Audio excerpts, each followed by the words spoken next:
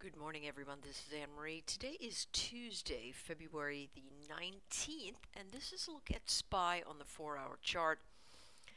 Interestingly, we are still grinding forward, although a very sloppy and ugly grind.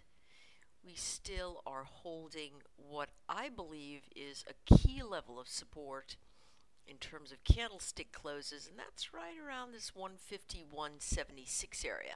So as we take a look at what's happening, we can really see an expanding range of price, upside and downside, creating a little bit of um, a megaphone, as it were. Now, the thing about megaphones is that they're tough to trade because we don't ever really know where the bounce action is, and we don't ever really know where the real rejection is if we just analyze it that way. And what that tells us essentially is that we do have damp momentum. That's just what we have. It's damp. So the question would be then, what do we do about trading today? What does the market look like today for us? As we take a look a little bit closer at the hourly chart, we can see the waves that I'm talking about. Momentum is essentially zero, right? We are moving and giving ourselves 100% retracement events. That's never good in terms of um, trending. And we did have uh, a high on the 13th that has not been replicated yet. So a couple days prior, 13th was on Wednesday of last week. And now here we are holding these levels above. This morning, the pre market is up a little bit. We did come down. The range in the ES overnight has been from a low of 15, 15 and a quarter to a current high of 15, 1975. That's four points. Not a ton of movement, but four points nevertheless. And so that might actually end up uh, being, if we could hold that space, it might not be a bad place to end up trading. Now, um, we had the holiday on Monday, and it did trade very, very tightly, of course, because we were not um, uniform, meaning other people were trading the ES.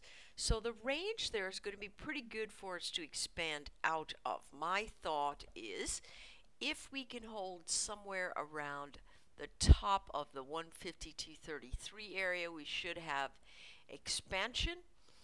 And um, below that, we're going to get caught in this sort of noise here. If it pops in and comes back out, 50% range violated here, so we should end up coming back to test this edge on the monthly VWAP. This is the weekly VWAP. So we'll be staring this down. What's the real trade here that might be comfortable because it's so noisy and because the megaphone event is where it is, it is going to be difficult trading today. I'm of the mind that Let's copy this.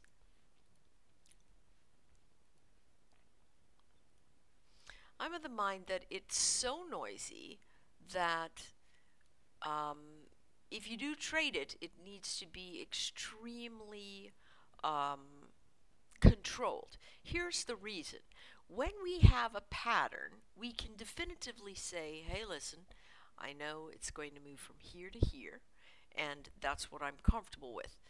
But when you have a megaphone event, it's piercing in both directions. So the question might be, well, where are most all of the candles moving from? And so you can see that they are working within this range. So my thought would be if you really want to trade in here, you would maybe want to think about watching the recovery on the edges and then taking the trade into the next area. If you want to remove it, that would be probably the safest. If you um, want to take it, then you know you'd set a trailing stop up outside of these regions. And we do have this area, 152.32, and then the breach up above that prior high, uh, 152. 261, right? So right up above here, we'll be looking into 152.95. And other than that, it's going to be a big sloppy mess. Today might be a good day to sit on your hands and not trade something like SPY. Look for something that's a little bit more regular in its approach and its formation. All right? Good luck trading today.